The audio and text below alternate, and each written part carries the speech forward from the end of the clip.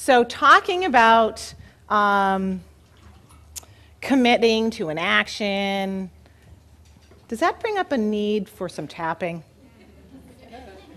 Yuck! It's kind of like it's a it's we all, a lot of us have that. If you have any charismatic leader in you, you'll have a "you can't make me do it" rebellion.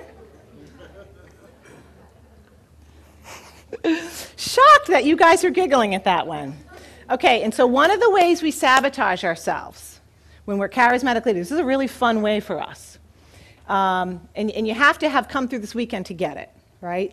Is we will, in, we will inflict a strong directive on ourselves and say, I have to get this done, which within a couple of days gives us permission to rebel against our own directive.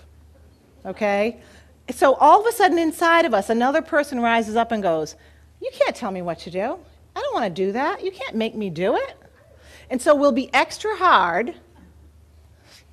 And then we have the then we feel totally justified in rebelling this is ridiculous, it's too strict, I don't have the time. We will come up with all the justification to rebel. And so now we're locked in a battle of like one side of us is the strict teacher, and one side of us is like a rebellious teenager. How many of have done that? Well, and you're like, you're like, I'm rebelling against myself. It's crazy. So the best thing to do is to voice that crazy.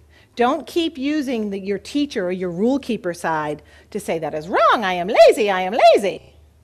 Voice the rebellion, and it will clear the fastest. Okay, so let's tap on that. I guess we'll start here. And you guys can tap wherever you want. You don't have to follow me because sometimes I go crazy. I really don't want to take action. Can I just keep tapping? Just keep tapping? And self discovering and visualizing. I don't really want a goal. I do not want to be held accountable. I'll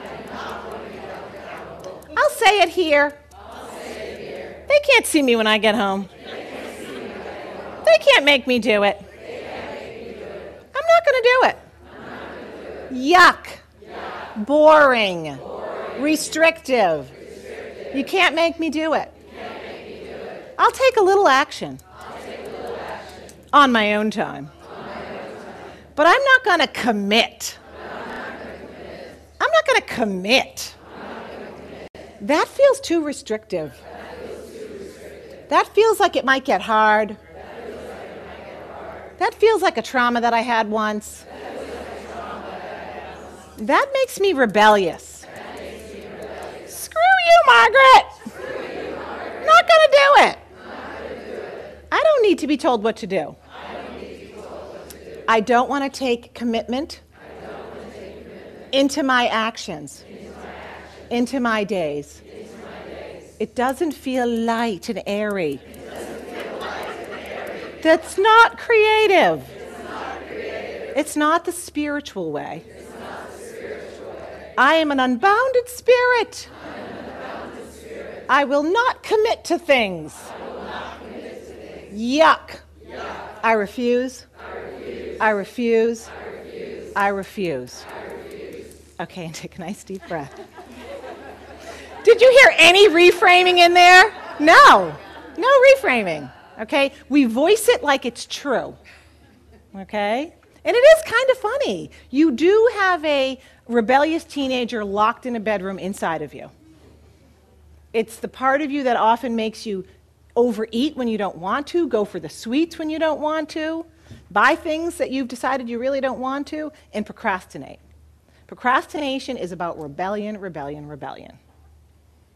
Okay? So that's why I have said a couple times it takes willpower. It takes a new, whole definition and energy of what I call conscious willpower to actually take action on your mission. Sometimes it takes gripping the table, willpower. And that's why I said you have to be so clear. But I choose this. I do choose this. So that you can sit in the consciousness of that battle. I feel this whole rebellion thing going on. I feel like, you know, F you and F them and don't tell me what to do and stupid Jack Canfield, right? I yell at these people. Can't tell me what to do. I'm not going to write that and put it on my ceiling. And then you sit in that moment and you feel all that happening. And that's where you ask yourself the question how bad do I want it? Is this my mission? Is this the moment right now for me to grab some of my willpower that I have used against myself a lot and against my life purpose and use it to create this step? Okay, there's been times when I've literally gripped onto my desk because whatever it is I need to get done maybe isn't my favorite thing. Like writing stuff on my sales page about my classes. I like to teach my class. I don't the, to figure out all the words of what's going to be there, like douse me, poof, and light me on fire, I'd be happier. right? I was like, give me the match. I always, I, I call my sister and I, and I go, the poom, poom, poom, like I've got the lighter fluid tin. And I'm like, poom, poom, poom, poom, give me the match. That's me trying to write marketing for my website. And so I will hold on to my desk with my hand because I'll go, cup of tea, uh, I think I need a cup of tea. Oh, it's probably time for a snack. I literally have felt this moment that I'm talking about is just do it. Okay, I'll do 10 minutes. I'll do 10 minutes and then I'll take a break. And again, you would think that it was like manual labor or something. It takes my willpower sometimes because it's not the funnest thing for me to do. And so someday, you know, it's like, okay, someday I will hire a copywriter. But right now, there's things you got to do. So I want, on this next slide, I've put some, some lines here. Now that we've voiced all the rebellion, one positive action that you can take.